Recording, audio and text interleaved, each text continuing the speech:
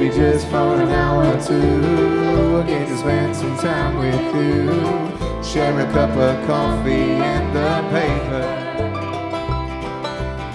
His eyes are tiny, yours are open wide. It never seems so sweet outside in the morning. Time. In the morning. Time. In the morning.